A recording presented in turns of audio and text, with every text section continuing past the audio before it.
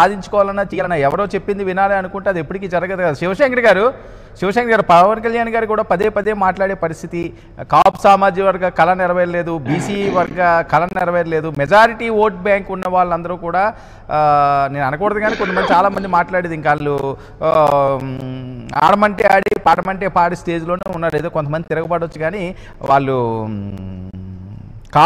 ఉన్నారు తప్పించి ఒక ఉన్నత స్థానానికి వెళ్ళలేదు నెంబర్ వన్ స్థానానికి వెళ్ళే అర్హత లేదా? లేకపోతే మీలో మీకు యూని యూనిటీలు ఉండట్లేదా? ఏం జరుగుతుంది? రెండు వేల పంతొమ్మిది కూడా ఒక రెండు వేల ఇరవై నాలుగు కూడా ఇంతేనా? ఒక్క చిన్న ముక్క చెప్పి నేను కొంచెం ఆగుతాను సార్. ఒక్క చిన్న ముక్క sir. Please please.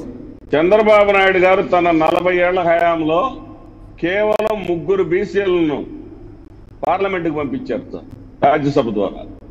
Jaganmohan Reddy గారు ఈ కొద్ది కాలంలోనే తనకు ఉన్నటువంటి ఈ కొద్ది కాలంలోనే ఆరుగురు బీసీలను పంపించారు. ఎవరు బీసీల వైపు ఉన్నారు Okay, ఎవరు okay. ఒకసారి చూసుకో. ఓకే శివశంకర్ గారు. వర్మ గారు ఇప్పుడు ఈరోజు బాబాసాహెబ్ అంబేద్కర్ గారు వర్ధంతి సందర్భంగా ఆయన ఒక మాట చెప్పేవారు.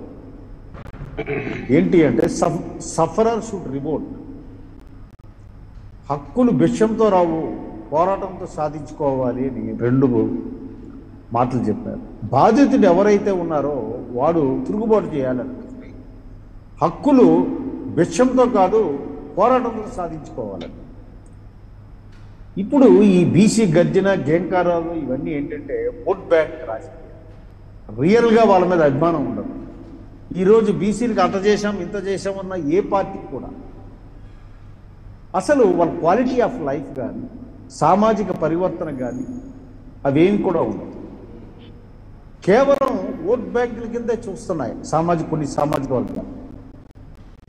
పాలక వర్గాలు పాలిత వర్గాలు అని రెండు ఉంటాయి. వరం గారు.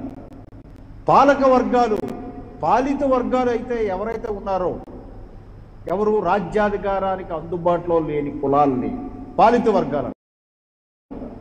ఈ పాలిత వర్గాలను ఎక్కడ ఎప్పుడు కూడా రాజ్యాధికారం దగ్గరికి రానివ్వదు కేవలం తాయిలో విసురుతుంటాయి ఎస్ ఈ తాయిలో విసిరావు అది పట్టుకొని నువ్వు గెంతు ఇది తెలుసుకోనంత వరకు తన పరిస్థితి ఎందుకు ఇలాగా ఉంది అని తెలుసుకోనంత వరకు ఏ సామాజిక వర్గమైనా అది బీసీ అవనివ్వండి కాపు సామాజిక వర్గం అవ్వండి ఎవరైనా సరే పాలిత వర్గాల అందరికీ ఇది వర్తిస్తుంది వాళ్ళు ఎక్కడ కోల్పోయాము శివశంకర్ గారు, మీ ఫోన్ rotate చేయండి, please. స్థాయి ఎక్కడ అందుకోవాలి ఎలా అందుకోవాలి sorry, కృష్ణాంజనేయులు గారు. వరకు ఈ ఓట్ బ్యాంక్ రాజకీయాలు చుట్టూ తిరుగుతుంటాయండి బీసీ గర్జన అంటారు రేపు పొద్దున వాళ్ళతో పోయి ఏదో బీసీ కేంకారం అంటారు. ఈ దీనివల్ల బీసీలకు జరిగే ఏ లాభం సో మీ మీరు వస్తే మీరు వస్తే జనసేన వస్తే జనసేన ఎప్పుడూ కూడా సామాజిక పరివర్తన అది బాబాసాహెబ్ అంబేద్కర్ చెప్పారు సోషల్ ట్రాన్స్ఫర్మేషన్ జరగాలి. జనసేన మూల సిద్ధాంతం అది.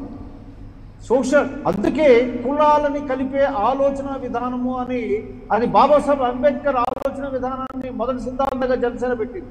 నేను అందుకే ఈ జనసేన తాలూకా సిద్ధాంతాలు భావజాలాలు అర్థం చేసుకుంటే అర్థమవుతుందని చెప్పడానికి కారణం ఉంది ట్రాన్స్ఫర్మేషన్ జరగనంత వరకు వెర్టికల్గా ఉన్న ఈ వ్యవస్థ హారిజాంటల్గా మారాలి. అదే బాబాసాహెబ్ అంబేద్కర్ కోరుకున్నది. ఇప్పుడు వెర్టికల్గా ఉంది. అది హారిజాంటల్గా మారి అదే కాంశీరామ్ గారు ఉత్తరప్రదేశ్ తీసుకొచ్చారు.